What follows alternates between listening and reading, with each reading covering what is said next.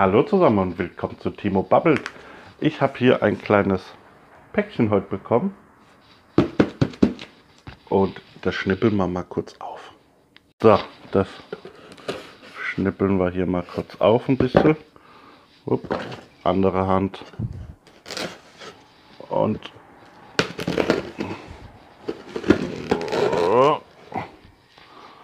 so, und was haben wir da drin?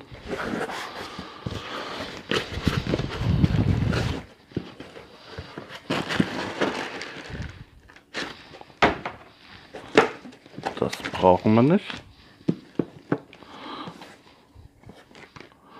Schwarze Blu-ray-Hüllen. Alles voll davon. Ja. Krieg's nicht mehr unter. So, hm, hm. Ja. Dürfte alles sein, dürften um die ungefähr 50 Stück sein. Und ja, ich habe das damals äh, beim äh, lieben Andreas von ähm, Filmwelt TV, ich packe aus, gesehen. Äh, ich gucke den ja schon. Ich weiß gar nicht, wie lange das jetzt schon ist. Zehn Jahre bestimmt, ja. Macht er so lange überhaupt schon, aber mal so grob zurückgerechnet können das bestimmt schon zehn Jahre sein. Der hat das damals vorgestellt. Äh, hier guckt euch das doch mal an. Das ist doch viel schöner in den schwarzen Hüllen.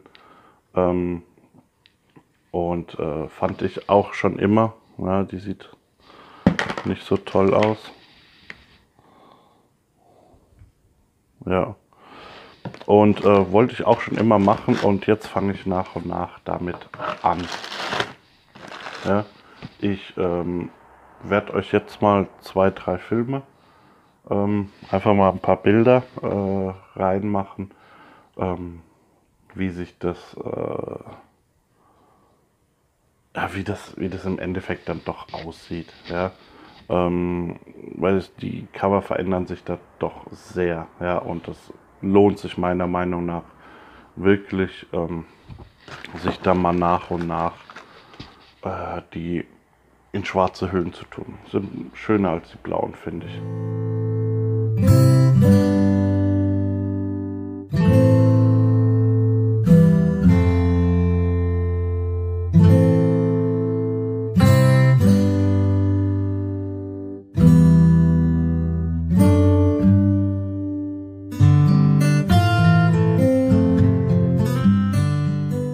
Sagt ihr dazu? Ähm, macht ihr das auch oder äh, sagt ihr, nee, nee, äh, so ein Quatsch brauche ich nicht. Äh, rausgeworfenes Geld, ich lasse in der blauen Hülle. Ähm, ja, schreibt einfach mal in die Kommentare. Als nächstes noch ein kleine News, was ich jetzt so gehört habe von Evil Dead. Ja, und zwar äh, heißt es nicht mehr Evil Dead Now, sondern Evil Dead Rises. Rises? Ich glaube schon. Und es soll ja äh, 2021 sollen die Dreharbeiten beginnen. Frühestens 2021. Und ähm, ja, es soll nicht mehr in der Hütte spielen, es soll nicht mehr im Wald spielen, es soll was komplett anderes werden. Da bin ich mal gespannt. Ja, und äh, Bruce Campbell hat auch schon gesagt, äh, dass das jetzt nach und nach äh, so eine Serie werden soll, dass äh, jeder Evil Dead Film für sich stehen soll und nicht irgendwie äh, wo anknüpfen soll. Also jeder soll für sich stehen in Zukunft. Mal sehen, was daraus wird, aber ich freue mich da auf jeden Fall ähm, drauf, obwohl ich äh, Ash halt gern wieder gesehen hätte oder Mia auch gern wieder gesehen hätte, aber vielleicht ähm, vielleicht kommen sie ja irgendwann doch noch einmal. Ja, man kann ja nie wissen heutzutage. Äh, ich würde mich auf jeden Fall freuen. So, ich habe mich mal ins Auto verdrückt. Äh, liebe Grüße an dich, äh, Sascha Copretti. Äh, du hast dich ja auch letztens in dein Auto verdrückt, weil du da Ruhe hast. Und äh, ja, danke für den Tipp. Denn bei mir ist auch äh, hier Halligalli. In der Wohnung kannst du nichts drehen. Draußen kannst du nichts drehen. Das ist doch super. Ja, ähm, äh, was wollte ich, was wollte ich? Äh, Ja, Maniac, äh, das Remake ist jetzt angekündigt. Äh, Vorverkauf startet am 1. Juli um 16 Uhr bei Nameless und ich denke mal zwei Stunden später kann man es aber in den ganzen anderen Shops, denke ich, auch bestellen. Und ja, VÖ ist dann der 10.7. Uh, freue ich mich drauf. Äh, mein kleiner Kurzfilm ist in Arbeit. Wir haben hier schon richtig äh, Hand angelegt. Ähm, wird auf jeden Fall äh, kommen, ja. Ähm, da sind noch ein Haufen andere Veröffentlichungen bei äh, Wicked Vision und sowas. Ähm, aber da habe ich jetzt gar keinen Plan. Genau. Weiß nur, da ist ein Haufen Highway zur Hölle oder sowas. Äh, ist da jetzt angekündigt und Destroyer oder sowas. Ähm, ja werde ich aber erst einmal nichts vorbestellen. Ja, dann gehen wir, also heute ist tatsächlich Sonntag, normalerweise. Es ist auch schon spät, äh, hab hier keine Uhr. ähm, deshalb kriegt er das Video auch ein bisschen später. Ähm, ja, ansonsten erst einmal gehen wir jetzt mal schön die Kommentare durch. Äh, vielen Dank an alle, die das Format gerne schauen, ja, Daumen da lassen und alles und kommentieren. Also vielen, vielen Dank, freut mich sehr. Und als erstes hat mir geschrieben Rallo 369. Hey Timo, das mit der Kaufsucht wird mit Sicherheit fast jeder Filmsammler kennen. Bin ich mal der Meinung, ähm, nur so wie es bei mir im Moment ist. Puh. Geht mir manchmal genauso. Man nimmt sich zwar immer vor, weniger zu kaufen, aber dann kommt dieses und jenes wieder raus und man übertreibt oft, weil man meint, man muss es haben. Ja, es gibt vieles, was man gar nicht haben muss. Ähm, das ist eigentlich zu 90 Prozent immer der Fall. Es gibt ein paar Filme, ach ja, den habe ich im Kino gesehen oder ach, gucke mal, ähm, den habe ich früher als Kind mal gesehen oder als Jugendlicher, ach und so so ein bisschen so hm, Nostalgie-Schiene fahren. So Filme muss man dann haben, ja. Ähm, aber so der ganze Rest, äh, wenn ich jetzt sage hier, oh, guck mal hier, 4 für 30, ja. Oh, Angebot, oh, welchen, da, da, da, da, da, da, und dann guckst du durch und dann, äh, ja, die musst du aber trotzdem nicht haben. Du musst das Angebot gar nicht wahrnehmen eigentlich, ja. Hm, meiner Meinung nach, aber mach trotzdem. Ähm, nicht so einfach als Sammler, da manchmal den gesunden, da manchmal den gesunden Mittelweg zu finden. Schönen Sonntag noch, liebe Grüße, Ramona. Ja, da gibt's, äh, also ich finde schon oft einen mehr oder weniger gesunden Mittelweg, ja. Aber wie schon gesagt, den Monat ist das total außer Kontrolle gelaufen. Aber es ist äh, gestern. Gestern habe ich von der Post geholt, also Samstag, ja. Ist der letzte für diesen Monat eingetroffen, aber der Monat ist ja auch nicht mehr lang, ja. Und zwar Nightingale, ja, das Mediabook. Ähm, äh, habe ich jetzt nicht hier. Ähm, ein Rache, Thriller, Western, Western, Rache, Thriller oder sowas.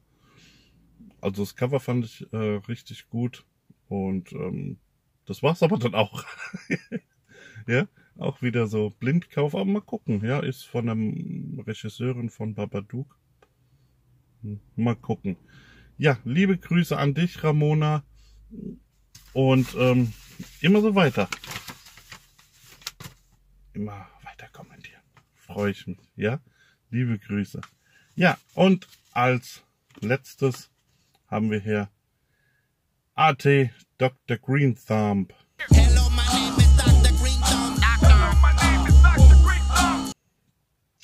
Hey Timo, immer wieder schön, wenn man was von dir sieht. Ich hoffe, deiner Hand geht's besser. Freut mich, dass du mich gerne siehst. Ähm, da macht mich äh, immer glücklich, sowas zu lesen. Und der Hand äh, ging's jetzt eine Zeit lang besser. Äh, ich muss halt gestehen, ähm, ich war ja beim Arzt gewesen und der hat mir eine Liste von Orthopäden und alles äh, gegeben und da habe ich auch angerufen, aber da ging irgendwie keiner dran. Und ähm, dann war der Schmerz und alles war so gut wie weg. Und dann habe ich mich nicht mehr drum gekümmert. Und seit gestern tut das wieder richtig weh. Ah, ich muss mich da jetzt, ich habe mir das jetzt auch vorgenommen, ich muss mich da dran setzen. Es ähm, geht nicht, ja. Es fängt jetzt komplett wieder an. Ähm, ja, ich muss da, muss da mal ähm, nachschauen lassen noch einmal. Und ich, wenn es, wenn, wenn ich mal dort bin, dann nehme ich das auch mit ins Video auf, ja, damit ihr da ein bisschen auf dem Laufenden seid. Bin schon gespannt, was da im Monatsupdate auf uns zukommt. Grüß mir die Batman-Familie und die wilden Hühnchen. Äh, bin ich selber gespannt, ja, äh, was da im Monatsupdate auf euch zukommt. Äh, es wird ein bisschen mehr als sonst sein, aber ja. Und die Batman-Familie habe ich schon lange nicht mehr gesehen, weil ich immer zu spät draußen bin in letzter Zeit ähm, oder zu früh. Und die wilden Hühnchen, ja, die grüße ich. Ja, schmeiß ich Salatblättchen für dich rein. Hab noch eine Frage. Gibt es etwas, das du endlich mal auf DVD oder Blu-ray haben möchtest, aber das es noch nicht gibt bis jetzt? Da habe ich mir so zwei, drei, äh, ein paar Minuten Gedanken gemacht, bin aber schnell auf einen Film gekommen und zwar ähm, ähm, ähm, No Night Stand oder im Englischen Trojan Wars mit Jennifer Love Hewitt. Den haben wir oh, im Jugend, ja, wie ich, frühe Jugend, ich weiß gar nicht, wann der rauskam. Mitte 90er oder ich weiß es gar nicht, wann der rauskam. No Night Stand, ja, ähm, oh, haben wir früher sehr, sehr oft gesehen und den gibt's nur auf VHS bisher.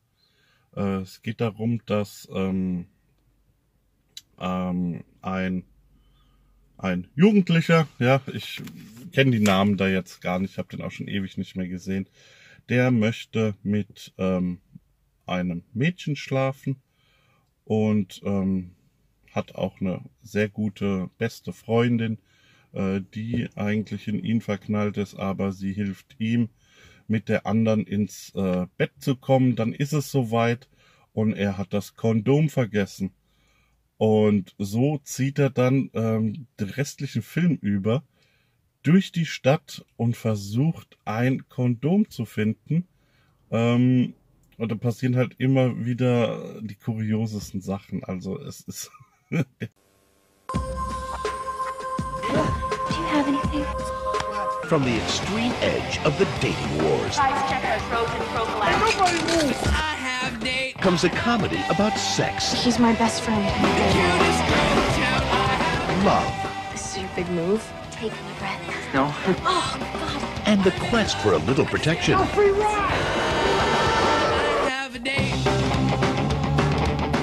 Trojan War.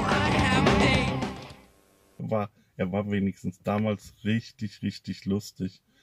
Ähm, da würde ich mir auf jeden Fall freuen, dass der langsam mal rauskommt, ja. Ähm, gar nicht im Mediabook, gar nicht im Mediabook, äh, so viel brauche ich da gar nicht, aber eine normale Blu-ray wäre toll.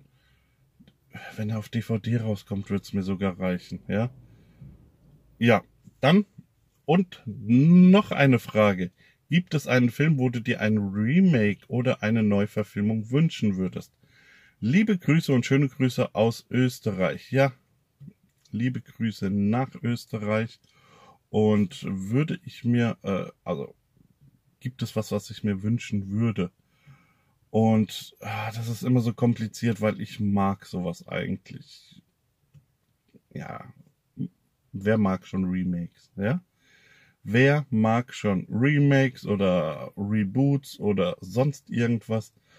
Ich sag immer, macht doch hinten weiter, ja, dreht doch nicht, äh, macht doch nicht eins, zwei, drei und dann ähm, fangt wieder von vorne an, macht doch dann vier, fünf, sechs, macht doch da hinten weiter. Aber wie man ja schon mal gesehen hat, das ist auch nicht immer gut. Zum Beispiel jetzt der ähm, Terminator-Franchise tut das gar nicht so gut.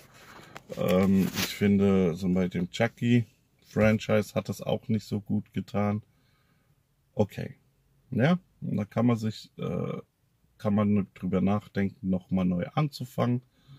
aber da geht's auch meistens in die Hose, aber auch nur meistens. Es gibt ja so zum Beispiel ähm, meine Lieblingsremake sozusagen, The Hills Have Eyes, ist ein mega Remake, ja. Und ähm, auch wenn es jetzt kein wirkliches Remake ist, ja, aber Evil Dead, ja. Ähm, Evil Dead ist ja eigentlich kein Remake. Es ist ja, ähm, es soll ja in derselben Dimension spielen, aber das ist ja auch scheißegal, ja. Ähm, fand ich aber auch mega geil. So, und jetzt zu deiner Frage. Ich werde mich hier jetzt äh, ziemlich, ziemlich ähm, unbeliebt machen vielleicht, ja. Aber es gibt einen Film, den ich gerne mal in neu sehen würde. Und ähm, das Original ist ein Klassiker. Das Original ist mega geil und es ist auch heutzutage noch von den Effekten her, von allem drum und dran perfekt. Meiner Meinung nach ein perfekter Film, wo man nicht meckern kann, wo man nicht dran rütteln kann, ja, aber ich würde ihn im neuen Gewand, im heutigen Gewand, würde ich den gerne mal sehen. Ja. Und zwar von Braindead. ja, genau. Ja. Also, äh, ich liebe Braindead und ich kann, ich könnte immer wie, ich habe ihn jetzt schon lange nicht mehr gesehen. Ähm, aber dadurch, es gibt ja auch keine ordentliche Blu-ray-Auswertung, ja, und ich habe diese alte Red Edition, also das Bild ja auch ein Kraus, ja, ähm, aber es gibt ja noch keine offizielle VÖ auf Blu-ray. Ja, deshalb. Ähm, aber ein perfekter Film und da mal ein heute ein, eine Neuverfilmung, ein Remake, ja, in, im heutigen Gewand. Boah, ja. Und das aber so, also jetzt mal, viele mögen das ja nicht. Viele mögen ja das Evil Dead, äh, den neuen Evil Dead, ja, mögen die ja nicht, ja. Gibt ja viele, aber ich liebe diesen Film, ja. Und wenn ich mir da das mal ansehe und das in Brain Dead, ja, dieses ganze Düstere, aber auch den Witz, ja, und das ist das Schwere, denke ich, ja, äh, das viele Blut, ja, das, das ganze Blutrünstige da rüber zu bringen in, in, im Braindead Remake, ja, denke ich, ist, äh, ist machbar, ist richtig gut machbar, aber der Witz, ja, und das soll ja nicht dieser Blödelwitz sein, und aber ich denke, wenn das zum Beispiel Peter Jackson persönlich angehen würde, würde da was rauskommen, würde da was richtig Gutes rauskommen. Ja, was ich mir zum Beispiel auch wünschen würde, äh, Bad Taste, ja. Aber da kein Remake, dann zweiten Teil eher, ja. Bad Taste 2 im heutigen Gewand wäre bestimmt mega, ja. So, dann würde ich sagen, also liebe Grüße nach Österreich dann würde ich sagen, war es das auch schon wieder von mir. Ich werde mich jetzt, wir haben jetzt schon irgendwie nach Mittag, äh, keine Ahnung, ja, Sonntag, also deshalb das Video kommt ein bisschen später. Und ich werde mich jetzt äh, reinbegeben, werde das Video für euch schneiden. Und ja, mal gucken, wann es hochgeladen wird. Ja. Und dann, heute Abend wird gegrillt. Und was steht die Woche an? Oh, die Woche muss ich das Monatsupdate drehen.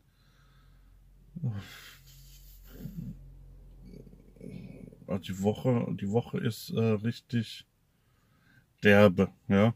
Ich habe ein bisschen mehr frei die Woche. Uhu. Äh, das Monatsupdate wird gedreht. Und habt ihr ja gesehen, äh, Sonic ist rausgekommen. Sonic werden wir uns heute anschauen. Und da werde ich ein Video drüber machen zu Nightingale. Den werde ich mir irgendwie anschauen, werde ein Video drüber machen. Und ja, dann den Kurzfilm zu Maniac, ja.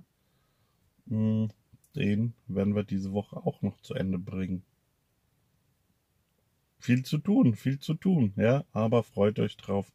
was ich bis jetzt äh, zusammengeschnippelt habe, sieht eigentlich ganz in Ordnung aus. Ähm, muss ich aber alles nochmal bearbeiten. Ja, lange Rede, kurzer Sinn. Ähm, machen wir Schluss, ja, und ja, bis zur nächsten Woche. Tschüss, macht's gut, euer Timo.